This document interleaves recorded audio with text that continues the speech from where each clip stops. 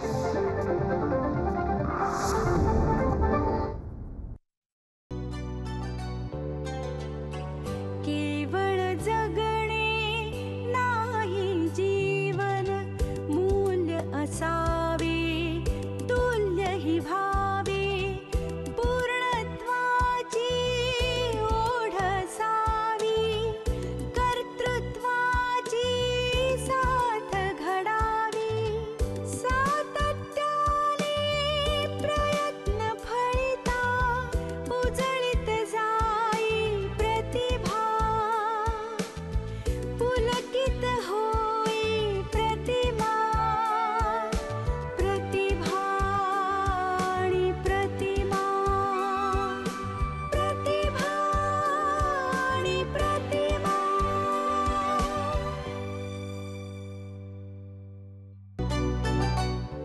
नमस्कार रसिक हो प्रतिभा आणि प्रतिमामध्ये आपलं मनापासून स्वागत करते.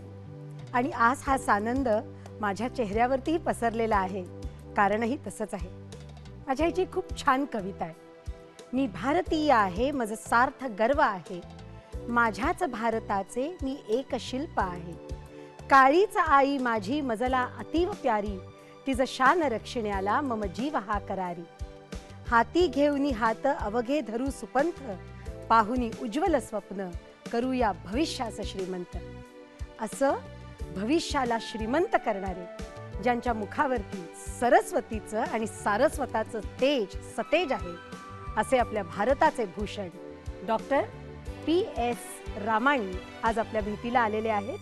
पण सरांना आपल्या या मंचावर आमंत्रित करण्याआधी पाहूया एक चित्रफीत. डॉक्टर वैद्यकीय क्षेत्रातील प्रचलित शब्द. वैद्य क्षेत्रातील पदवी ही केवळ आरोग्य आणि स्वास्थ्य सेवक म्हणून प्रचलित आहे. पण वैद्यकीय क्षेत्रातील डॉक्टर हा शब्द समाजोपयोगी घडवणारे तळागाळातील लोकांची आरोग्य शुश्रूषा करून डॉक्टर या शब्दाला खऱ्या अर्थाने नवा आयाम देणारे अभूतपूर्व आणि अलौकिक व्यक्तिमत्व म्हणजे डॉक्टर प्रेमानंद रामाणी. मुंबई स्थित वास्तव्यास असलेले डॉक्टर प्रेमानंद रामाणी हे जगातील दहा उत्तम डॉक्टरांपैकी दुसऱ्या क्रमांकावर असलेले जगविख्यात डॉक्टर आहेत. पेशाने न्यूरोसर्जन असलेले डॉक्टर प्रेमानंद रामाणे हे आपल्या विषयात विषयाची उंची गाठलेले डॉक्टर आहे. वैद्यकीय क्षेत्रात त्यांची असलेली प्रतिमा ही त्यांची प्रतिभा आहे की हंगेरीमध्ये त्यांच्या नावाने निघालेला पोस्टल स्टॅम्प इंडोनेशियाने त्यांच्या शस्त्रक्रिये प्रक्रियेला त्यांचं दिलेलं नाव. गोवा सरकारने गोमांतक पुरस्काराने गौरवित करून त्यांच्या नावाने रस्त्याला दिलेलं त्यांचं नाव. शरीर सौष्ठवासाठी सतत धडपड करून आजच्या आधुनिक तरुणांना नवा फिटनेस मंत्र देणारे हेच की काय असा प्रश्न पडतो. ऐंशीव्या वर्षात पदार्पण करून कळसुबाई शिखर चढणाऱ्या या अफलातून व्यक्तिमत्वाची ओळख करून घेऊया प्रतिभा आणि प्रतिमा या कार्यक्रमातून.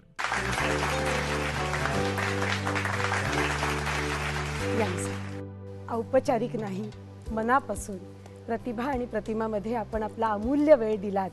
त्याबद्दल माझ्यातर्फे आमच्या सगळ्या टीमतर्फे प्रथमतःच तुमचे आभार मानते सर. आणि इतकं ऐकायचं आहे म्हणजे ही श्रवणभक्ती करायची आहे मला त्यामुळे तुम्हालाच बोलतं करते सर. मला कल्पना आहे की गोव्याला अत्यंत सर्वसाधारण स्थितीमध्ये घराची स्थिती अगदी सर्वसाधारण असताना आपण शिक्षणाची कास सोडली नाही आणि नेहमीच सर्वोत्तम होतात. एखादा किस्सा तो लहानपणीचा जेव्हा चालत जायला लागायचं हो. दहा दहा किलोमीटर. हं. माझा जन्म एका सामान्य घराण्यात झाला. पैशाचं पाठवळ नव्हतं किंवा घरात आपला कोणी डॉक्टर पण नव्हता. जी सर. शाळा ए जे आल्मेडा हायस्कूल फोंड्याला होती. पाच किलोमीटरपेक्षा जास्त दूरवर होती.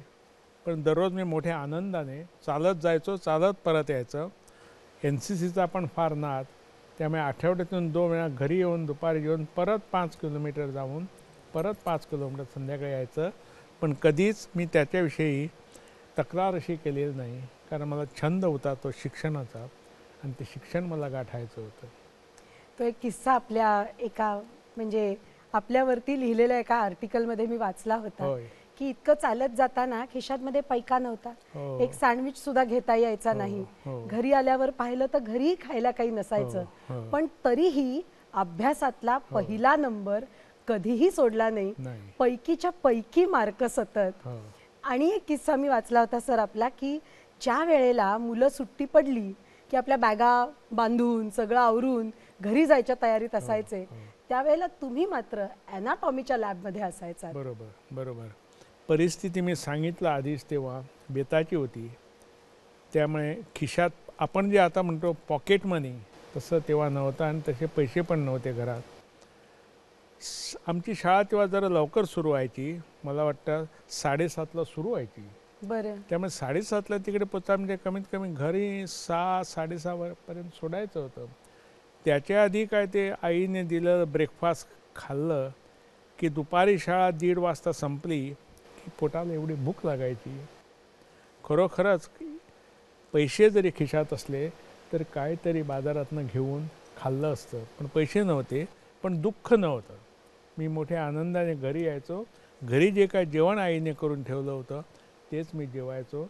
परत अभ्यासाला सुरुवात करायचो अभ्यासाचा आपला विषय चाललाय. हो. म्हणून इतक्या कुशाग्र तैल बुद्धिमत्तेचे आपण हो. कधी मित्र भावंड हो. म्हणायचे की माझा अभ्यास कर किंवा मला मदत कर. हो. त्यावेळचा काही एखादा किस्सा एखादा अनुभव? माझा भाऊ माझ्याबरोबर शिकत होता मोठा भाऊ. पण तो माझ्या एवढा हुशार नव्हता. आणि जरी मला एक प्रकारचा ध्यास होता अभ्यासाचा पण त्याला त्याला पण भूक लागायची दुपारी. आणि तो घरी येऊन एकदा जो जेवला की त्याला मग झोप यायची. मग तो झोपायचा. उठायला तयार नाही. पाच साडेपाच आई उठ रे म्हणायची जरा उठ उठ चल लवकर. मग जरा उठून तो जरा वगैरे थोडासा अभ्यास करायचा. जेव्हा जेव्हा कुणी माझ्या भावाने किंवा माझ्या बहिणीने किंवा कोणी बाहेरच्या मुलाने मला जेव्हा अभ्यासाविषयी काहीतरी विचारलं ते त्यांना सांगायला मला फार आनंद व्हायचा. मी. कधीच नाकारलेलं नाही. तुम्ही एक दुसरा प्रश्न विचारला की सगळी मुलं ते मी तिकडचा जरा मला ध्येय होतं ध्यास होता मला डॉक्टर व्हायचं होतं म्हणून शेवटी मुंबईला आलो मी. मुंबईला डॉक्टर नायर हॉस्पिटलमध्ये मी होतो. तिकडे. सगळे मुंब- शिक्षण घेतलं. पहिल्याच वर्षी अनाटॉमी डिपार्टमेंट असते. मला ते स्पाईन मज्जा रज्जू आणि कणा हे एवढे आवडायचे की आम्ही मुंबईला आम्हाला कोण नव्हतं त्यामुळे मी हॉस्टेलमध्ये राहत होतो. हो. सगळी मुलं हॉस्ट रजा पडली रे पडली पळायची गावात धावा घरी कुठेतरी.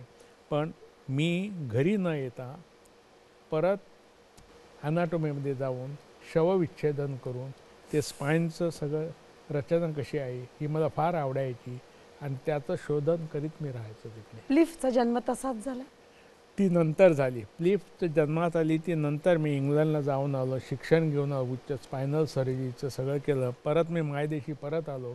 माझ्या लक्षात एक आलं रुग्ण बघत असताना जेव्हा जो कणा तुटलेला आहे तो कसा बांधायचा हे. तेव्हा कोणालाच माहीत नव्हतं. स्पायनल सर्जरी ही अस्तित्वातच नव्हती. तर मग कणा बांधणे वगैरे अशा कठीण शस्त्रक्रिया तर कोणाला लक्षात सुद्धा नव्हत्या. काय करायचं? मला तो न्यू कासलचा सॉरी हं, मध्ये बोलले हो, माफ करा मला. हो, तो किस्सा ऐकायचा आहे की मी आपलं एक टू कोट यू सर हो. की it was not a coal mine it was a gold mine for me हो हो हो. तर मी जेव्हा इंग्लंडला गेलो तेव्हा अप नॉर्थ म्हणतात तेव्हा ते न्यूकासल अपॉन टायन म्हणून गाव आहे त्यांचं. तिकडे मला युनिव्हर्सिटीमध्ये पोस्ट मिळाली. तिकडेच मी एकाच जागी राहून पाच वर्ष काम केलं. रुग्ण बघत राहिलो त्यांच्यावरती शस्त्रक्रिया करीत राहिलो आणि त्याच्याच बरोबर रिसर्च जे म्हणतात संशोधन करीत राहिलो स्पाईनवरती करीत राहिलो. तेव्हा माझ्या एक लक्षात आलं की न्यू कासलला पाठदुखीचे रुग्ण बरेच आहे. आणि तेव्हा मी जेव्हा कारण शोधायला गेलो तर न्यू कासलला सगळ्या कोल माइन्स होत्या. सगळे. लोक कोल माइन्समध्ये काम करायचे. There were more of labourers labour कोळशाच्या खाणीच कोळशाच्या खाणीच खाणी होत्या. ते. मला ती एकदम गोल्ड माइन झाली. मला. सगळे पाठदुखीचे रुग्ण मिळायला लागले. त्यांच्यावरती मी शस्त्रक्रिया करायला लागलो. नंतर शवविच्छेदन रूममध्ये जाऊन तिकडे पण मग शिक्षण माझं पुरं करायला लागलं. त्याच्यावरती मणक्यावरती कशी शस्त्रक्रियाची कुठे करायची काय करायची वगैरे वगैरे वगैरे. तेव्हा सगळंच नवीन होतं. स्पायनल. सर्जरी झालीच नव्हती. जन्माला आलीच नव्हती. आणि त्याच वेळेला research man of the year David. Dixon हो. पारितोषिक त्यामुळे ते एवढा माझा रिसर्च झाला तो मान्य केला युनिव्हर्सिटीने. आणि आमच्या युनिव्हर्सिटीमध्ये सगळ्या आजूबाजूला सगळी जवळजवळ छप्पन हॉस्पिटलं होती. सगळ्यांना ते- छप्पन्न हो हॉस्पिटल होती सगळ्यांनी ॲप्लिकेशन वगैरे करायचं असतं हं. रिसर्च आवडला त्यांनी मला माझं नाव सिलेक्ट केलं मला research man of the award Paul Bucy award हा पुरस्कार देण्यात आला मला मला फार आनंद झाला माझं जे रिसर्च आहे ते सगळं सर हे पुरस्कार तर झालं. मिळालाच हो पण अ, मी असं वाचलंय की हं. आपली ओपीडी हंड्रेड पर्सेंट क्युअर्ड असायची म्हणजे लोकांच्या मनामध्ये हो. तर हे मानाचं म्हणजे पुरस्काराचं स्थान हो. आपण आधीच पटकावलेलं होतं. मी काय म्हणतो की आपण प्रयत्न करतो देव यश देतो तसं आहे ते. मी एवढंच सांगेन की सगळेच क्युअर झालं असं मी म्हणणार नाही. सगळ्याच्या तोंडावर आनंद होता असं म्हणेन मी. म्हणजे सगळ्यांना समाधान वाटायचं. त्यांचं समाधान बघून मला सुद्धा समाधान वाटायचं. आणि एकंदरीत सगळं जीवन पाच वर्षे ते न्यू कॅसल मी काढली. फार आनंदात गेलं. समाधान झालं मला. मला जे सगळं शिकायचं होतं ते शिकून घेतलं मी. रिसर्च पण बराच केला त्यावेळी. बरेच माझे पेपर पब्लिश झाले होय सर. पण इतकं जग फिरलात म्हणजे सगळीकडे. हो. स्वित्झर्लंड जर्मनी हो, हो, इंग्लंड हो. America Paris. पण तरी सुद्धा ही मायदेशी यायची ओढ कशी? हो. माझा लहानपणापासून ध्येय होतं. मी रुग्ण बघत होतो. वैद्यकीय सुविधा नव्हती त्यावेळी सगळीकडे. कसे त्यांचे हाल होत ह्याच्यावर माझ्या मनावर एक भयंकर परिणाम झाला होता. बरं. त्याच्यामुळे मी ठरवलं होतं. जिद्द होती माझी. ठरवलंच होतं नाही. माझी जिद्द होती मी तसंच करणार म्हणून. आणि त्याच्यामुळे मी जेव्हा गेलो न्यू कॅसलला गेलो इंग्लंडला गेलो आणि नंतर जे काय अपुरं माझं ज्ञान राहिलं होतं ते थोडे थोडे आठवडे दोन आठवडे तीन आठवडे अमेरिका सुद्धा इकडे सगळीकडून घेतलं शिक्षण. पण शेवटी ध्यास होती परत येऊन माझ्या शिक्षणाचा लाभ आपल्याच हिंदुस्थानल्या लोकांना द्यायचा. म्हणून मी परत. मायदेशी परतलो आश्चर्याची गोष्ट म्हणजे माझा मुलगा तो सुद्धा. अमेरिकेमध्ये जाऊन शिक्षण घेतलं त्याने मोठा फेमस झाला. त्याला सुद्धा अमेरिकेला राहायचं नव्हतं. युनिव्हर्सिटी जबरदस्ती करीत होत्या ते पण परत आहे माझी मुलगी इकडे हा अंजली. आर्ट कॉलेजला होती इकडे गव्हर्नमेंट आर्ट कॉलेजला होती इकडे बी बी एफ केलं. पोस्ट ग्रॅज्युएशन करायला कॅलिफोर्नियाला अकॅडमी ऑफ आर्ट कॉलेजला गेली होती ती. तिचं झाल्यावर तिचे क्लासमेट सगळे अजून अमेरिकेलाच आहे. बरोबर. पण तिला राहायचं नव्हतं. ती परत आली. आणि मुख्य गोष्ट म्हणजे हे वय माझे एकाऐंशी वर्ष आहे. ह्या वयात मी सुखी आहे माझा मुलगा सुखी आहे माझी मुलगी सुखी आहे. आणखीन काय पाहिजे तुम्हाला सांगा? आपल्या कुटुंबाकडे आपण येणार आहोत. खरं तर माझाच प्रश्न होता की डॉक्टर अनुपई परत आले पण त्याचं उत्तरही आपण दिलं. हो. खूप आनंद आहे. पण इथे एक अल्पशी विश्रांती घेऊया आणि मग परत या सुखी कुटुंबामध्ये डोकावूया आपण. रसिक हो घेऊया एक छोटासा ब्रेक प्रतिभा.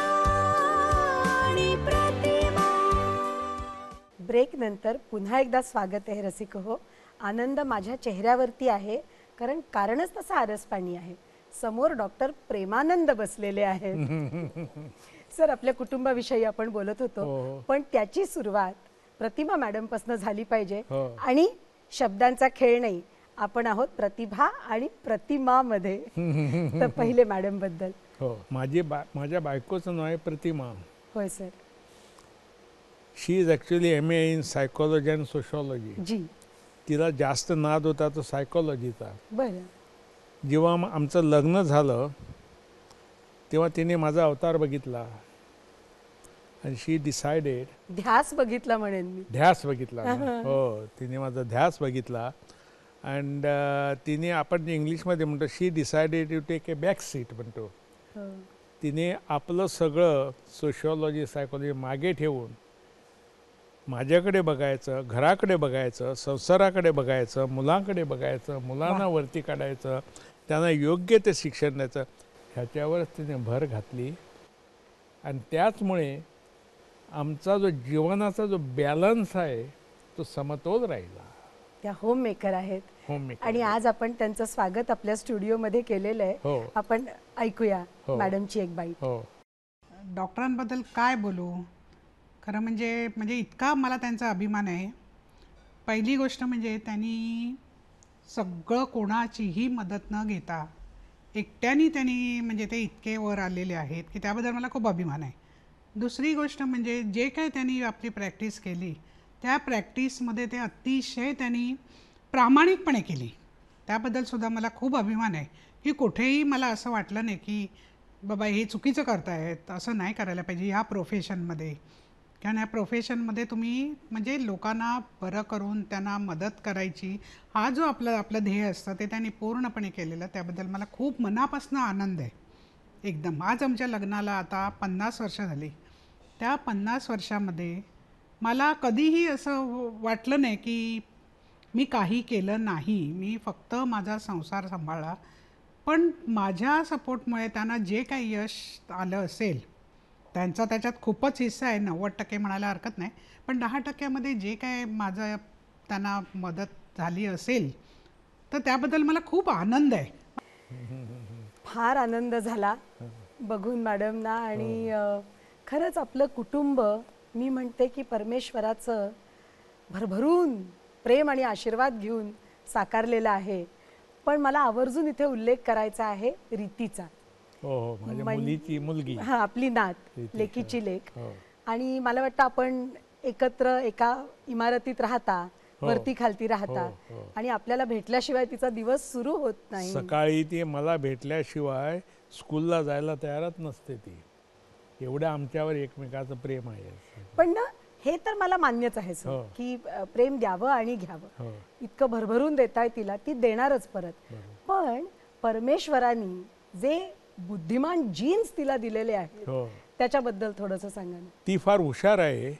शाळेमध्ये सुद्धा ती नंबर कमावते. चांगले मार्क मिळतात तेव्हा. त्याशिवाय ती फार आपल्याच तंद्रीत असते कधी कधी तिला डॅन्स फार आवडतात. त्याच्यामुळे ती काय करते ते आपल्या मी- मैत्रिणींना घेऊन बरोबर टी व्हीवर बघून एखादा डान्स वगैरे बसू घेऊन त्याचे क्लू घेऊन ती स्वतःच कोरिओग्राफी करून आपल्या मैत्रिणींना घेऊन डॅन्स वगैरे बसवते. ही एक कला तिची झाली. दुसरी ती जी कला आहे ती तिला स्टोरी रायटिंग वगैरे आवडतं. आणि तिसरी म्हणजे तिला एस ए कॉम्पिटिशन वगैरे बरेच प्रायझेस मिळतात. प्रिन्स ऑफ वेल्समध्ये दोन हजार चौदामध्ये ठरवलं की आपण आता चिल्ड्रन्स म्युझियम करायचा.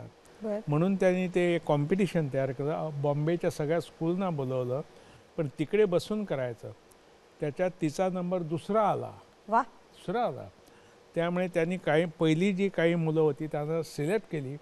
आणि दोन हजार चौदा ते दोन हजार एकोणीसपर्यंत त्यानं सांगितलं तुम्ही चिल्ड्रन्स म्युझियम प्रिन्स ऑफ वेल्समध्ये बनवा म्हणून? आणि मॅरियल लिंच बँक अमेरिकेची बँक आहे त्या मग बँकेने त्यांना फिनान्शियल सपोर्ट दिला. पाच वर्ष लागली. हळूहळू करून ते दर शनिवारी रविवारी जाऊन तिकडे काम करायचं. असं बराच वेळ चाललं होतं आहे. शेवटी चोवीस मला वाटतं चोवीस की अठ्ठावीस मार्चला तो म्युझियम उघडला आहे. मी जाऊन बघितलेला आहे. तो अति सुंदर अति अप्रतिम आहे. आणि मुख्य गोष्ट म्हणजे ह्या म्युझियममध्ये त्यांनी बाहेर एक अशी जागा केली की अशी बाकडे लोकांना बसायला. मध्ये एक पिपळाचं झाड आहे. त्या झाडाच्या खाली मुलांना मुल मुलगा किंवा मुलगी उभं राहून एक कहाणी सांगायची लोकांना. Story telling. तर तिला तिचा नाद आहे तिला ते फार आवडतं. तिने बऱ्याच स्टोरीज लिहिल्या मी तिला मदत केली आता. आणि ती आता लगेच एक पुस्तक पब्लिश करणार आहे चिल्ड्रन स्टोरीज अशी ती हुशार आहे जरा. आजोबांचा अगदी आशीर्वाद आहे ते पुस्तक आपण करायलाच तिच्यासाठी. हो, हो. मला ना कुठेतरी म्हणजे आता रीतीबद्दल ऐकताना हो. असं कोणीतरी एक पेशंट असतो किंवा आपला ज्युनियर डॉक्टर असेल स्टुडंट असेल मनात घर करून जातं. म्हणजे घरच्या घरातले तर मनाच्या घरात असतातच. हो. पण असं आपल्या या व्यावसायिक परिघातलं हो. कोणी अशी एखादी अविस्मरणीय आठवण आमच्या बरोबर शेअर करा हो हो. बऱ्याच आठवणी आहे अशा वेळेस मी सगळ्या माझ्या विद्यार्थ्यांना हिंदुस्थानाच्या आणि जगातल्या त्याच्यात मी खास करून इंडोनेशिया मलेशिया आणि बांगलादेश हे देश दत्तक घेतलेले आहे. त्यांना मी ट्रेन करतो. त्यांची एक एक बॅच माझ्याकडे येऊन तीन तीन महिने राहते. वा. अडचण होती त्यांची मुंबईमध्ये. म्हणून मी माहीमला एक फ्लॅट घेतला आहे तो. सगळा एअर कंडिशन वगैरे करून तिकडे त्यांनी राहायचं सुखात राहायचं. माझ्याकडे हॉस्पिटलमध्ये यायचं ट्रेनिंग घ्यायचं वगैरे करायचं. आता मुख्य गोष्ट कुटुंबाकडे वळायची म्हणजे त्यांना पाहिजे तेव्हा त्याने माझ्या घरी येऊन बायकोला सांगायचं मला आज हे खायचं आहे म्हणून ते. माझी बायको पण त्यांना खुशीने ते करून घालते. बऱ्याच वेळा ते आमचं घरचं म्हणजे इथलं एक किचन ओपन किचन. ते आता मोठ्या आग्रहाने घरी येतात ते पण जेवण घेतात. आणि त्यांना माझा जेवढा आदर आहे तेवढाच प्रतिमाबाईंचा आदर आहे त्यांना. अशी एक गोष्ट चालत आलेली आहे. हंगरीला आपल्या नावचा एक. स्टॅम्प आहे पोस्टल स्टॅम्प आहे. हंगेरीमध्ये हो. हंगेरीमध्ये. हंगेरीच्या पोस्टल डिपार्टमेंटनी माझं स्टॅम्प काय की हंगेरीला मी बरंच काम केलं बुडापेस्टला खास करून. तिकडे मी बरंच काम केलेलं आहे. पण तिकडच्या डॉक्टरांनी त्याची दखल घेतली आणि बहुतेक त्यांनी ते पोस्टल डिपार्टमेंटला रिक्वेस्ट केलं असणार. तर पोस्टल डिपार्टमेंटनी तो माझा स्टॅम्प काढला आहे. त्यांना पण फार आनंद झाला. त्यांनी एकमेकांना रिलेटिव्हना पोस्टल तर स्टॅम्प लावून ते पत्र पाठवलं. आणि तो पोस्टाचा स्टॅम्प वगैरे आल्यावर मग ते एनवेलप सगळे गोळा करून कुरिअरनी मला पाठवून दिले. पण सर कारण पोस्टल स्टॅम्प काढायचं म्हणजे. मी आपलं हे व्यासपीठ आहे त्याला अनुसरून असं म्हणेन. की या प्रतिभेच्या प्रयत्नशील प्रतिमेपर्यंत पोहोचायच्या प्रवासाला हो. हा मानाचा मुजरा होता हो हो ना बरोबर आहे आणि इंडोनेशियामध्येच ना एक मेडिकल ब्लॉकला हो सिरेबॉनला सिरेबॉन या देशात आपलं नाव आहे. स्टेटमध्ये मोठं. हॉस्पिटल आहे तिकडे. त्याच्यातली ती ऑपरेशन थिएटरचा जो बिल्डिंग वेगळी आहे ब्लॉक आहे ती doctor P S Ramani theatre block असं त्याचं नाव दिलं आहे. आणि ह्याचं मुख्य कारण? मुख्य कारण म्हणजे त्या सगळ्या लोकांना मी शिकवत राहिलो. ते सगळे इकडे येतात. आणि मी एक तुकडी तयार केली होती माझ्या पाच का सहा डॉक्टरांची. अधूनमधून वर्षातून तीन चार वेळा मी त्यांना घेऊन तिकडे जायचो. बरं. आणि प्रत्येक कानाकोपऱ्यात तिकडे जायचं आणि तीन दिवस त्यांना सगळे एक दिवस ऑपरेशन्स करून दाखवायची त्यांना. दुसऱ्या दिवशी सव शवविच्छेदन करून त्यांच्याकडनं करून घ्यायची ते ऑपरेशन. बरं. आणि तिसऱ्या दिवशी मग त्यांच्याकडे लेक्चर्स वगैरे द्यायची त्यांना आणि मी परत यायचो. असा जो माझा गुरु शिष्य परंपरेचा जो माझा ध्यास आहे तो आज सुद्धा मला फार आनंद वाटतो. की मी इंग्लंडहून येऊन सायन हॉस्पिटलला माझं काम सुरू केलं L T M medical college and hospital ज्याला पॉप्युलरली सायन हॉस्पिटल म्हणतात. तिकडे मी संशोधन करून ह्या मणका जो तुटलेला आहे त्याच्यावरती कशी शस्त्रक्रिया करते ही प्लीफ शस्त्रक्रिया केली काढून शोधून काढली. ही सगळ्या लोकांना फार आनंद झाला रुग्णांना तर आनंद झालाच. पण रांग लागायला लागली माझ्या हॉस्पिटलमध्ये. सगळे डॉक्टर येऊन शिकायला ती पद्धत असे मग. आणि करता करता ती मग सगळे जगविख्यात झाले. जगावरचे लोक यायला लागले. शेवटी सर आम्हाला इतका अभिमान वाटतो हो. की जगातल्या दहा नामवंत आणि सगळ्यात श्रेष्ठ डॉक्टर्समध्ये आपलं नाव आहे. हो. म्हणजे इतका अभिमान वाटतो एक भारतीय म्हणून. आणि ही प्लिफ म्हणजे तुमच्या मुखातनच मी हो, ऐकलं होतं हो, की हो, इतकं प्रचलित झालेलं आहे. खरं तर त्याचा फुल फॉर्म इतका मोठा आहे. पण तरी इतक्या सहज पेशंट सुद्धा म्हणतात. Doctor PLIF. हो. म्हणजे हे खरंच कौतुक आहे अगदी. काही काही गावात माझे एवढे पेशंट्स आहेत रुग्ण आहेत. तो एखाद्या दुसऱ्या रुग्णाला घेऊन येतो आणि तो मला सांगतो मला वाटतं ह्याला प्लीफची गर जरूरत आहे. वाटही बघत नाही तुमची. पण जरा एकदा प्लीज आपल्या प्रेक्षकांसाठी प्लिफचा आपण फुल फॉर्म सांगा ना. प्लीफ म्हणजे एक शस्त्रक्रियेची पद्धत आहे. P L I F posterior lumbar interbody fusion. अशी पद्धत मी शोधून काढली. तिला जगविख्यात ज- जगात मान्यता मिळाली त्याला. आणि त्याच्यामुळे माझं आत्ताच त्या बाईंनी सांगितलं त्याप्रमाणे दहा डॉक्टरांपैकी एक डॉक्टर रामाणे असं एक नाव झालं. न्यूरोस्पायनल जगातले- सर्जरीचे जनक. हो फादर ऑफ त्यामुळे जगातले लोक माझे मित्र जे आहे वैद्यकीय शास्त्रातले ते सगळे मला पी एस रामाणेंना म्हणता प्लीफ रामाणे असं करून द्यायचे. हे बघा प्लीफ रामाणे आले. पण आपण ब्रेक घ्यायच्या आधी हो. जो सुखाचा कोपरा आहे हो. त्या रीतीचं आपण थोडस संभाषण हो हो हो. इथे जरूर ऐकणार जरूर. आहोत. बघूया ना. हाय अ, माझं नाव रीती रावत आहे आणि मी डॉक्टर रामानीची ग्रँडडॉटर आहे. तर अ, आजोबा मा अ, मा मला खूप म्हणजे इन्स्पिरेशन देतात आणि मला मोटिवेट करतात अ, खूप सारे थिंग्स करायला. म्हणजे अ, ही अ, ह्याची स्टड ह्या त्यांची स्टडी रूम आहे आणि त्यांनी मला एक कम्प्युटर पण दिली आहे. म्हणजे मा मला स्टोरी लिहायला आणि माझ्या फ्रेंड्सबरोबर डान्स करायला.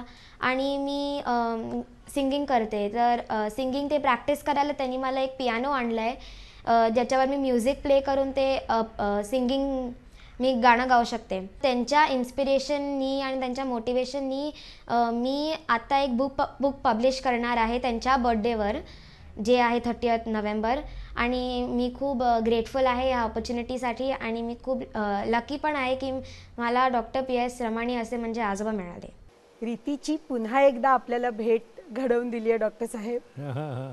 पण आता डॉक्टरांच्या भेटीसाठी तुम्हाला थोडंसं वाट पाहायला लागणार आहे रसिक हो. कारण एका ब्रेकची वेळ झाली आहे. भेटूया एका ब्रेक नंतर. प्रतिभा आणि प्रतिमा अपनी आपके सफलता से डॉक्टर साहब इधर पहुंचे हैं with the smallest of the background और इस क्षम तक पहुंचने के बाद इन्होंने अपने चारों हाथों से अपना पूंजी जो इतने धन कमाया चारों हाथों से अपने गांव को अपने समाज को paying back to the society जिसको बोलते हैं चारों हाथों से देते हैं।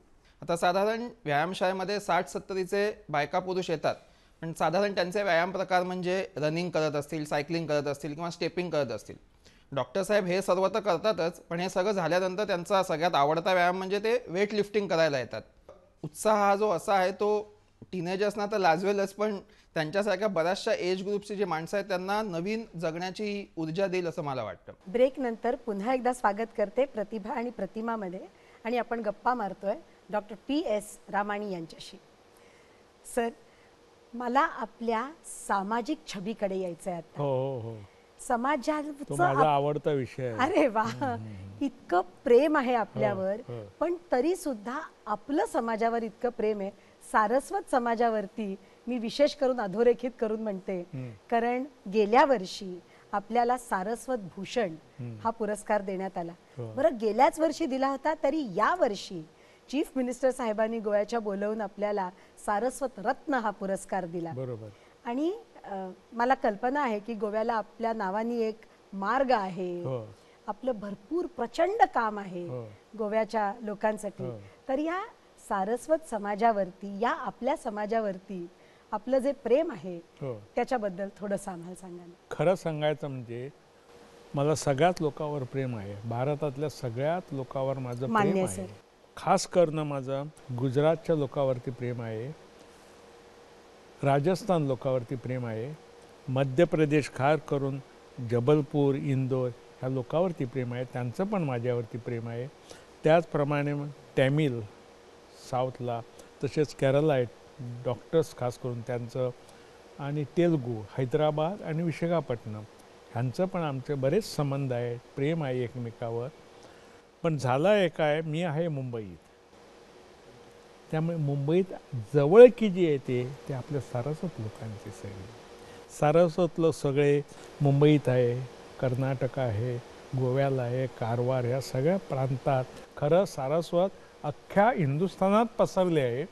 पण इकडे जास्त त्यांचा घेटाव आहे. आमचा संबंध येतो. मला लोक आवडतात. लोक हेच माझा दे दैवत आहे देव आहे. मी मूर्तीला मानत नाही. लोकांना मानतो. तेच माझे देव आहे असं समजतो. त्याच्यामुळे त्यांच्या कार्यक्रमाला जातो. त्यांचा कुठे सत्कार समारंभ काय तर तिकडे जातो. त्यांचे काही मेडिकल प्रोजेक्ट्स वगैरे असतात त्याच्यावर मी कार्यरत असतो त्याच्यामुळे आपले संबंध वाढत गेलेले असतात त्याच्यामुळे जवळीक पण जास्त येतो मला ते गोव्याचं ऐकायचं होतं हो. तुमचं जुनं घर तुम्ही सगळं हो, हो. त्याचा गोवेकर गोव्याच्या लोकांवर तर माझं फारच प्रेम आहे हो. त्यांच्याकरता काहीतरी कार्य करावं म्हणून मी दोन एन जी ओ स्थापित केल्या. माझी आई अहिल्याबाई तिच्या नावाने अहिल्याबाई रामानी प्रतिष्ठान एक केलं. आणि डॉक्टर लोकांची सेवा करायला मी doctor P S Ramani medical foundation अशा दोन संस्था काढून या संस्थेंच्या मार्फत मी पहिली गोष्ट म्हणजे लोकांची सेवा जर करायची झाली मी जास्त करून यंगर जनरेशन जे आहे तर त्यांच्याकरता सेवा करावी त्यांना डिसिप्लिन लावावं त्यांना चांगलं हेल्थ मिळावं त्यांना मार्ग चांगला लावावा ह्या दृष्टीने आमचं जे वाडी गाव जो आहे हो. तिकडे जे आमचं जुनं घर होतं ते एका रात्री सगळं जमीनदोस्त करून टाकलं आणि त्याच्या ग्राउंड अँड फर्स्ट फ्लोअरची मोठी इमारत बांधली आणि त्या इमारतीमध्ये सगळ्या सुविधा तयार करून दिल्या. लायब्ररी चिल्ड्रन्स टॉय रूम संध्याकाळी मुलांनी येऊन तोडफोड पाहिजे ते करायचं. दर दोन महिन्यांनी ते रिप्लेस केलेले जातात. मागे चिल्ड्रन्स प्लेईंग गार्डन केलं. वरती दोनशे लोक बसतील. असा एक मोठा हॉल तयार केला. लेडीज लोकांना देऊन टाकला. ते ladies self help group register केला. बायका वगैरे तिकडे येतात ते भजन करतात काय करतात सगळ्या ॲक्टिव्हिटी करतात. प्रवचनं कार्यक्रम व्याख्यानं बर्थडे सगळ्या. त्यामुळे ते घर जे पडून राहिलं होतं तिकडे दररोज सगळे ॲक्टिव्हिटी व्हायला लागले. खाली मोठी लायब्ररी आहे. लायब्ररीत लोक येतात जातात. पुस्तकं त्याच्याशिवाय मी त्यांना प्रोत्साहन मिळालं. म्हणजे निबंध वगैरे अशा कार्यक्रम चालू असते आणि हॉलमध्ये प्रयोगशाळा बऱ्याच चालू असतात. त्यांना मुलांना शिक्षण मिळावं चांगलं म्हणून. ऑरिगॅमी डॅन्सिंग पेंटिंग सगळ्या सगळ्या असे कार्यक्रम चाललेले असतात. त्याशिवाय दुसरी एक आणखीन एक इमारत बांधून सुसज्ज असा जिम्नेशियम तयार करून दिला. त्याच्यामध्ये लोक येतात व्यायाम करतात सगळे आणि हल्लीच गोव्याच्या एका कॉम्पिटिशनमध्ये आमच्या व्यायामशाळेत जो व्यायाम करत त्याला पहिला दुसरा नंबर आला बॉडी ब्युटिफुलमध्ये अरे वा. विशांत गावडे म्हणून त्याचं नाव आहे. त्याचा दुसरा नंबर आला मला फार आनंद झाला. हो. जिम्नेशियमच्या बाहेरच मी मोठं बॅडमिंटन कोर्ट तयार करून दिलं त्यांना खेळायला सगळ्या लोकांना. आणि आता तर वरती जरा वरती हिलॉक्स म्हणतो आपण तसा तो कापून इंटरनॅशनल साईज मोठा क्रिकेट ग्राउंड तयार करून त्यानं क्रिकेट खेळायला तयार केलेलं वा तिकडे बाजूला पॅव्हलियन पण बांधला आहे. जिथे बोथ मेल्स आणि फिमेल्स टीम्स वगैरे येऊन तिकडे मोठी बाल्कनी आहे गॅलरी आहे तिकडे बसून and you lead by example sir तुम्ही स्वतः हो. स्वतःच्या तब्येतीची किंवा म्हणजे व्यायाम हो. जॉगिंग हो. तुमचा नित्य नेम मी वाचत होते. हो, साडेचारला उठणं हो. मग पंधरा मिनिटाचं मेडिटेशन हो. मग जॉगिंगला जाणं साडेसातला ब्रेकफास्ट आणि आठला हो. आपण ऑपरेशनला सज्ज असता हो जर म्हणजे इकडे वळावंसं नेमकं कधी वाटलं कारण हो. इतकं व्यस्त हो. सगळं कार्य मग्न आयुष्य असताना बरोबर तब्येतीकडे आपण आता बघितलं. पाहिजे आणि हा हे निर्णय मला? सुद्धा वाटलं हा, कधी पण मला झाली आता तीस वर्ष झाली हा. की म्हटलं आता एक दिवस काय जर मी सायन हॉस्पिटलला ओ पी डीमध्ये असताना मला एकदम असं बरं वाटेन असं असं झालं सगळं म्हणून. मी लगेच बायकोला फोन केला आहे म्हटलं असं मला जरा बरं वाटत नाही काय बघूया. आम्ही लगेच डॉक्टरकडे गेलो. ब्लड वगैरे तपासलं. शुगर जरा जास्त मिळाली. बरं. तर डॉक्टर राममूर्ती आता हयात नाही. ते चांगले एक फिजिशियन होते मुंबईला आमचे. त्यांनी मला बघितलं. ते म्हणाल तुला डायबिटीस वगैरे काय ना ते स्ट्रेस डायबिटीस ब्लड शुगर जरा वाढते असं म्हणते त्यामुळे तू व्यायाम वगैरे करायला सुरुवात कर असं म्हण. आता व्यायाम म्हणजे करायला म्हणजे माझी आणि त्या वेळा बसायला पाहिजे. म्हणून बरोबर. मी. विचार केला अरे म्हटलं मी लहान असताना एवढं चालत होतो माझे पाय सशक्त आहे. व्हाय नॉट विथ एक जॉगिंग करायचं. त्यामुळे मला जॉगिंगचा छंद लागला आणि पूर्वीपूर्वी आम्ही सायन हॉस्पिटलला काम करताना जैन सोसायटी सायनला राहायचो. तर मी सकाळी उठून पहाटेला उठून हायवेवरनं धावत जायचो विक्रोली व मुलुंड भांडूप बापरे. वगैरेपर्यंत धावत जायचो. मग थकलो असेल तर मग बायकोला फोन करायचा चल गाडी घेऊन ये मला घेऊन जा परत. मला असं करायला परत पण आता मी नंतर नंतर करता मला ते जास्त शास्त्रोक्त करायला मुंबईला स्ट्रायडर जॉगिंग कंपनी मोठी आहे. ती. ट्रेन करते जॉगिंगला. त्यांना जॉईन केलं. आणि बऱ्याचशा इंटरनॅशनल मॅरेथॉन इंडियाच्या तर सगळ्या मॅरेथॉनमध्ये मी भाग घेतलेला आहे हो हो आणि त्याशिवाय बऱ्याचशा अं, आमस्टरडाम हॉलंडला जाऊन चिकागोला जाऊन सगळ्या त्या पण मॅरेथॉन धावलेलो आहे मी विक्रमांकडे येणार आहे हो, yes. तत्पूर्वी मी विनंती करणार हो, आहे हो, हो. आपल्याला की आप- मला एक दोन मिनिटाची अनुमती द्यावी हो. कारण डॉक्टर अनूप आणि अंजली हो या दोघांना आपल्याला ऐकायचं आहे बरोबर तर. आपण जरूर जरूर जरूर ऐकूया. अनुप माझा मोठा मुलगा हो. अंजली धाकटी मुलगी हो. अनुप सुद्धा आता फार एक famous robotic surgeon oncological surgeon doing surgery on cancer kidney आणि कॅन्सर प्रोस्टेट. असं त्याची ख्यातनामी आहे इकडे मुंबईमध्ये तर त्याचं ऐकूया आपण. हो. एक फारच स्पेशल ओकेजन आहे की बाबांची ऐंशी वर्ष पूर्ण झालेली आहेत आणि एक्याऐंशी वर्षात बाबा पदार्पण करतायत तर बऱ्याच लोकांनी बरंच काय काय बाबांबद्दल चांगलं चांगलं सांगितलं आहे पण मला बाबांबद्दल जे युनिक वाटतं त्या दोन तीन गोष्टी मी सांगू इच्छितो. पहिली गोष्ट म्हणजे त्यांचं नवीन काही शिकण्यासाठी जे एन्थुझियाझम आहे ते मला वाटत नाही मी आणखीन कुठल्याही प्रोफेशनलमध्ये बघितलं आहेत म्हणजे ऑफकोर्स ते जगविख्यात स्पाईन सर्जन तर आहेतच पण दरवर्षी त्यांना कुठल्या तरी एका नवीन हॉबीचा छंद लागतो. आणि त्या हॉबीच्या मागे ते हात धुवून पडतात. काही वर्षापूर्वी तीन चार वर्षापूर्वी त्यांना असं वाटलं की म्युझिक त्यांच्या लाईफमध्ये नाही आहे तर ते पेटी शिकायला लागले. म्हणजे ऑलमोस्ट सेवन्टी सिक्स सेवन्टी सेवनच्या वयामध्ये ते सकाळी चारला उठून ते पेटी वाजवायला प्रॅक्टिस करायचे. दुसरं दुसरा त्यांचा एक पॉईंट आहे की लिमिटलेस एनर्जी म्हणजे आम्ही त्यांना घरात एनर्जायझर बनी म्हणतो. म्हणजे आम्ही दिवसभर काम करतो. आम्ही सगळे बिझी आहोत. मी स्वतःही सर्जन आहे रोबोटिक सर्जन आहे. पण घरी साडेसात आठ साडेआठला आम्ही जेव्हा येतो तेव्हा आम्हाला अक्षरशः काही करायचा त्राण नसतो. पण बाबांना आम्ही आता एवढे वर्ष बघतोय की रात्री दहा साडेला दहाला जरी घरी आले तरी साडेदहाला सुद्धा तुम्ही काही म्हणाल की आपण असं असं करू तर लगेच उभे राहून मा- म्हणतात चला आत्ता करू. उद्या नको आत्ताच करून टाकू. So that I think cannot be it cannot be learned ही गोष्ट मला वाटतं इनबॉर्न असते काही लोकांमध्ये. आणि अक्षरशः लिमिटलेस एनर्जी म्हणजे कधीच ते मला थकलेले किंवा टायर्ड किंवा अरे आता जरा आराम करतो हे एवढ्या पन्नास वर्षात मी तरी कधी त्यांना म्हटलेलं ऐकलेलं नाही आहे ह्या वयामध्ये ह्या लेवलची curiosity with so much enthusiasm. Extreme like life. Right.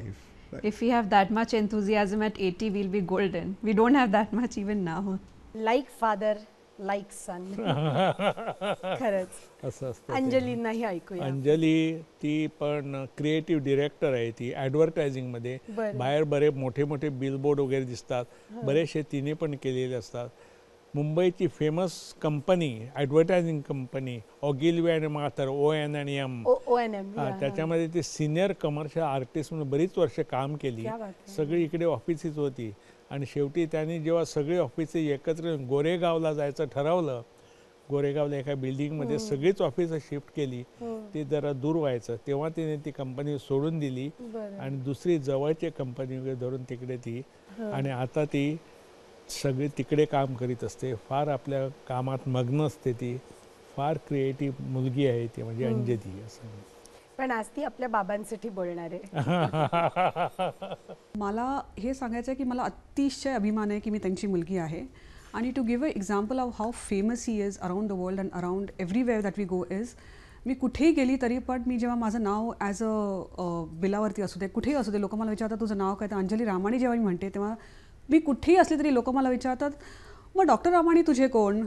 आणि मग जेव्हा मी त्यांना म्हणते की मी त्यांची मुलगी आहे it's such a proud moment for me be it the park be it a mall be it a store or be it at international levels आता मी सध्या अमेरिकेत गेली होती तिथे पण मला थोडी लोकं भेटली आणि जेव्हा मी रामाणी असं नाव घेतलं आणि त्यांनी मला विचारलं तेव्हा ते बोलले ओ ते फोल फेमस न्यूरोसर्जन का? जे मुंबईत लिलावती तसं आता म्हटलं हो तेच.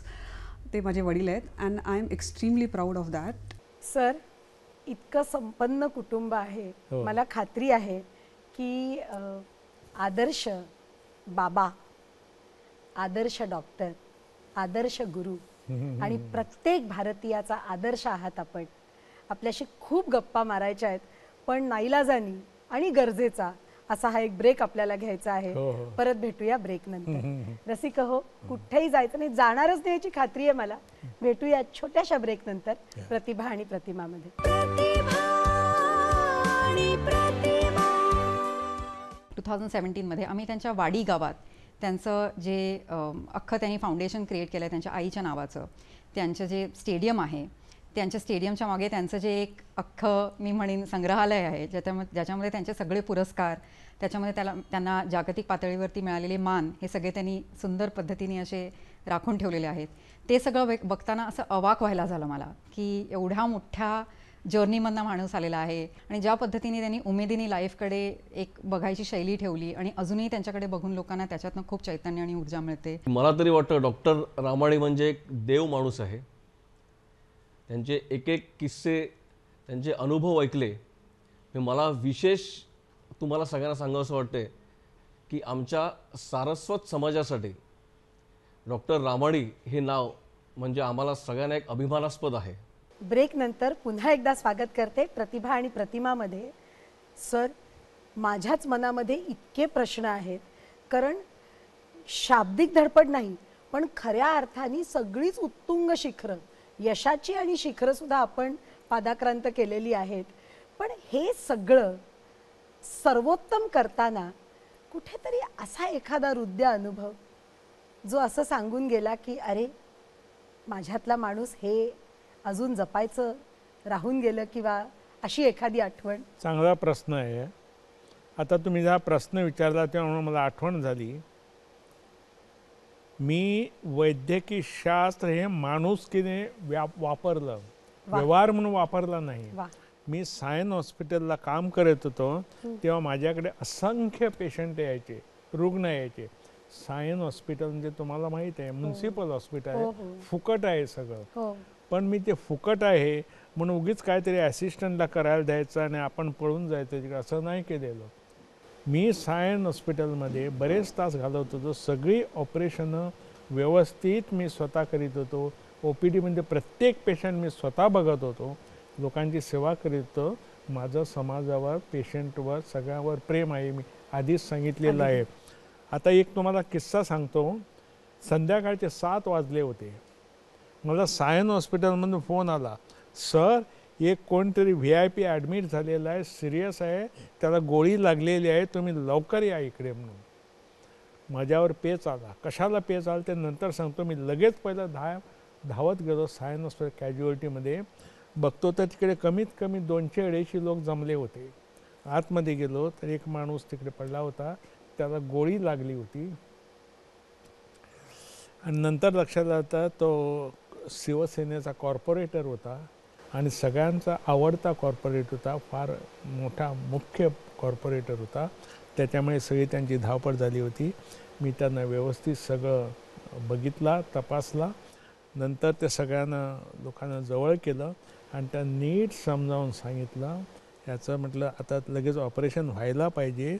त्याची ती गोळी गेली ती काढायला पाहिजे. पण मी आज रात्री साडेदहा वाजता मला इकडून निघायचं आहे. मला पावणे बाराचा प्लेन पकडायचा आहे. मी आज इंग्लंडला जातो आहे.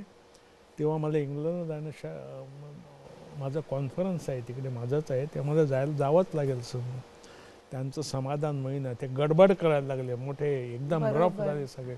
तुम्ही असं पेशंटला सोडून कसं जाता? म्हटलं ही बघा ही माझी तिकीट आहे. मला जायला पाहिजे असं म्हणून. तरी पण म्हटलं माझे सगळे असिस्टंट आहे. त्यांना सगळ्यांना मी समजावून सांगितलं. कसं ऑपरेशन करायचं? आणि मी घरी गेलो परत. आणि घरी माझे कपडे वगैरे घातले कपडे घेतले हातात आणि एअरपोर्टला जायला निघालो तरी पण मी माझी माणुसकी मी सोडलं नाही त्यानं. परत इकडे आलो. कॅज्युअलिटीमध्ये आलो. परत म्हटलं त्यांना समजावूया.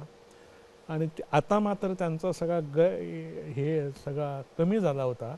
उलट ते रडायला लागले. बरं बरेच लोक येऊन माझे पाय घट्ट धरून तुम्हाला आम्ही सोडणारच नाही. तुम्हीच करायला पाहिजे असं. म्हटलं तुम्ही घाबरू नका सगळं काय व्यवस्थित होईल हे होईल सगळं समाधान केलं जरा. आणि असिस्टंटला सांगितलं लगेच घेऊन जा रे थिएटरमध्ये वगैरे म्हणून. त्यांचं ऑपरेशन करा आणि मी गेलो एअरपोर्टला जायला. मी हायवेवर होतो. वेस्टर्न एक्सप्रेस हायवेवर इतक्यात मला फोन आला. मी उचलला. हॅलो म्हटलं. मला सुद्धा आता गयवर मला असं झालं. ते. डॉक्टर साहेब तुम्ही इंग्लंडला चाललाय मला माहीत आहे तुम्ही हायवेवर आहात. आमचा एक खास कार्यकर्ता तुमच्या हाताखाली सायन हॉस्पिटलला ॲडमिट आहे त्याला गोळी लागलेली आहे. त्याचे जी जीव प्राण सगळे संकटात आहे. त्याचे प्राण तुमच्या मुठीत आहे. त्याला जिवंत ठेवायचं की मारायचं? हे तुमच्या हातात आहे. मी बाळासाहेब ठाकरे वाटलंच इतकं म्हटलं आणि त्यांनी फोन ठेवून दिला. मला विचार झाला. मी ड्रायव्हरला सांगितलं गाडी फिरव. परत घेऊन जा. लगेच बायकोला सांगितलं लगेच आता इंग्लंडला फोन करून सांग डॉक्टर रामाने एक दिवस उशिरा येतील. लगेच मी ट्रॅव्हल एजंटला फोन केला माझी आजची तिकीट कॅन्सल कर उद्याची दुसरी काढ माझी तिकीट. आणि मी सरळ तिक हायवेवरनं स्ट्रेट सायन हॉस्पिटलला गेलो. पेशंटला घेतलं. मी स्वतः त्याचं ऑपरेशन केलं. गोळी काढली. सगळं व्यवस्थित झालं. दुसऱ्याची परत त्याला बघायला गेलो. सगळ्यांच्याच तोंडावर समाधान होतं. पेशंट पण इम्प्रूव्ह होत होता. आणखीन मी मग दुसऱ्या दिवशी इंग्लंडला गेलो. मी विसरून गेलो. कारण अशी कार्य मी बरी बरीच केलेली आहे त्यामुळे. आणि सडनली आता काही हल्लीच ही गोष्ट झाली बरीच वर्ष मी. सायन हॉस्पिटल रिटायर होऊन मला आता बावीस वर्ष झाली. त्याच्यापूर्वीची गोष्ट ही. आणि हल्ली सहा महिने पेपरात दुसऱ्या दिवशी मराठी पेपरात सगळ्यापर्यंत कॉर्पोरेटेडला गहीवरून आला तो कुठल्या तरी कार्यक्रमात भाषण करीत होता. त्याने हा किस्सा सांगितला लोकांना आणि त्यालाच स्वतः एवढं गहीवरून आलं की तो. ढसा ढसा रडायला लागला तिकडे देवच हो डॉक्टर म्हणजे देवच हो. पण हे या हातांनी केलेलं कौशल्य हो पण या कौशल्याला शब्दरूपातही बांधलेत आपण आपली अनेक पुस्तकं आहेत हो आणि आतापर्यंत किती आहेत डॉक्टर साहेब पुस्तकं? आत्तापर्यंत मी सामाजिक आणि टेक्स्टबुक मेडिकल जगाला आणि आपल्या हिंदुस्थानच्या डॉक्टरांना मिळून एकसष्ट झाली आहे. आणि अजून आणखीन आत्ताच अर्धा डझन पुस्तकं आणखीन पाईपलाईनमध्ये आहेत. ती अजून बाहेर यायची आहेत बरं आणि रिसर्च. पेपर्स वेगळे? त्याशिवाय ते पेपर पब्लिश होतात जॉर्नल्समध्ये ते वेगळे आहे असं म्हणून. पण खरं म्हणजे मी लेखक नव्हतो. आणि शेवटी करता करता मग असं माझ्याकडे एक ती पूर्वी आता नाही ती हयात नाही ती नयना आचार्य म्हणून ती लेखिका काही पुस्तकं लिहायची ती. ती माझ्याकडे रुग्ण म्हणून आली तिला स्लिप डिस आली सायन हॉस्पिटलला ॲडमिट केलं. तिचं ऑपरेशन वगैरे झालं वगैरे. ती हैराण करायची सिस्टरना तिकडे. ही बॅड अशीच असायला पाहिजे का? ही अशीच उशी असायला पाहिजे का? असं वगैरे वगैरे. तर मग शेवटी वैतागून म्हणाले तुम्ही पुस्तक लिहावं? याच्यावरती लोकांना माहीत नाही म्हणून. चल चल म्हटलं मला काहीतरी हे करू नका तुम्ही असं ना मी लिहित बीत ना मी माझ्या कामात ग ग- ग- एकदम मग्न असतो. मला वेळ नसं नाही नाही ती लागलीच पाठवे तुम्ही तर मला नुसते शब्द सांगा मीच तुमचे असेंबल करते मीच पब्लिश करते करते करता करता ते मग मी शेवटी पाठ दुखीला भिवू नका. असं एक पुस्तक लिहिलं तिने. ती मदत केली मला तिने ते पुण्याला नेऊन कुठल्या तरी पब्लिशरकडनं ते पब्लिश करू केलं हे झालं असं. तीन आठवडे गेले नाही पंधरा वीस दिवस गेले नाही एक दिवस दुपारी तीन वाजता दरवाजावर आवाज आला. बेल वाजली मी स्वतःच उघडली बेल. बघतो तर नैना आचार्य तिकडे. आणि बाजूला एक माणूस होता कपडे सफेद घातले लेंगा घातलेला वरती तो शर्ट असतो तो पायात चप्पल होतं त्याचा असं. जी. एकदम दरवाजावर ते ओरडले. मी तुम्हाला सांगत होतो ती. पुस्तकाची गरज आहे म्हणून इथल्या ना. हा पब्लिशर आहे पुण्याचा तो आलाय माझ्याबरोबर. तुमचं पहिली एडिशन आवृत्ती. संपली. म्हणून. बस. सुरुवात झाली. तेव्हापासनं मला जो लिहायचा छंद लागला तो आजपर्यंत छंद असाच चालू आहे. कसा वेळ काढता? पण जेवायला वेळ काढत नाही. मी वाचलं गेली चाळीस पंचेचाळीस वर्ष. हो. तुम्ही दुपारचं जेवणच जेवत घेतलेलं नाही. नाही. नाही बरोबर. या सगळ्यासाठी वेळ माझं जगभ्रमण चिकार असतं. हा. एक वेळ असा होता की मी कमीच्या अठरा एकोणीस ट्रिप्स एका वर्षात व्हायच्या जगावर. आता महिने बारा आणि ट्रिप्स अठरा एकोणीस. एकोणीस तिकडे. आता जरा कमी झाले आहेत तरी पण आत्ताच मी जपानहून परत आलो आहे असं म्हणजे ट्रिप चालूच आहे असतात. बरोबर. तर ते विमानात बसलो की नाही की तो वेळ माझा असतो छंद. तो मी लिहित बसतो. माझा सगळं ते काय सामुग्री लागते याला आहे. डिक्टाफोन वगैरे सगळं माझा लॅपटॉप सगळं माझ्याबरोबर असतं. मला ते मग ते इकडे उगीच मजा करायची काहीतरी टी व्ही बघायची दारू प्यायची असा छंद नाही मला असं तरीही स्वांत सुखाय असा एक छंद आहे तुम्हाला. हो. तो म्हणजे चालण्याचा मॅरेथॉन चालण्याचा. हो, हो, हो, तीन हो. विक्रम आहेत आपल्या नावी आता. मी गेल्या वर्षी ऐंशाव्या वर्षी असताना हो. लास्ट इयर सर तुम्ही ऐंशी सांगितलं नसतं तर खरंच शपथ. कळलंच नसतं. बरोबर असं तर ते तीन विक्रम केले मी. एक म्हणजे माझ्या स्वतःच्या मी मॅरेथॉन केली गोव्याला डॉक्टर रामाने हो. गोवा मॅरेथॉन आहे. जी. तिला आता प्रतिष्ठेचं स्थान मिळालेलं आहे. सगळं. सगळे जगावरचे लोक येतात त्याच्यात भाग घ्यायला. तर त्याच्याचमध्ये मी शंभरावी मॅरेथॉन धावलो. शंभर मॅरेथॉन कंप्लीट केल्या मी. तसंच मुंबई अल्ट्रा मॅरेथॉनमध्ये पंधरा ऑगस्टला 15th होते ऑगस्ट. पंधरा ऑगस्ट. ती बारा तासाची सलग five AM to five PM अशी ती मी धावलो सलग बारा तास धावलो. आणि तिसरी गोष्ट म्हणजे मला हायकिंगची फार आवड. सह्याद्रीची सगळ्या शिखरावर मी गेलेलो आहे आणि बऱ्याच वेळा गेलो आहे एकदाच नाही तर फेब्रुवारीमध्ये कळसुबाई नाशिकला जाऊन कळसुबाई पीक हायस्ट पीक सह्याद्रीचं ते पण वरती जाऊन सर ॲट तिथे. एज हो कुठल्या वयामध्ये कळसुबाई चढलात मी या वयात विचारांनी सुद्धा चढू शकत नाही सर म्हणजे. बरोबर बरोबर आय एम जॉ ड्रॉप्ड होय. अवाक. मग आपण म्हणतो ना की चेहऱ्याचं भोकाच्या पिठाचं थालीपीठ झालं. आवाजून मी तुमच्याकडे बघतीये सर.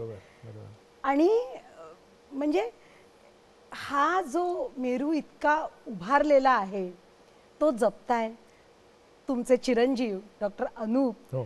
तेही याच मार्गावरती आहेत नवीन संशोधन. हो. जगाला लोकांना. पेशंट्सना. नवीन काहीतरी देण्याचा ध्यास. हो. सर हा ध्यास कधीही न संपो. हो हा असाच अविरत चालू राहो. हो, हो. हीच पांडुरंग चरणी प्रार्थना करते. आपल्याला मनापासून नमस्कार करते. आणि आपल्या या प्रतिभा आणि प्रतिमामध्ये आपण आलात हो. म्हणून पुनश्च एकदा आपले आभार मानते. पण आभार मानून आता वेगळं नाही व्हायचं. तुमच्या ऋणातच राहणं पसंत करते. नमस्कार करते. रसिक हो पुन्हा भेटूया प्रतिभा आणि प्रतिमामध्ये. हि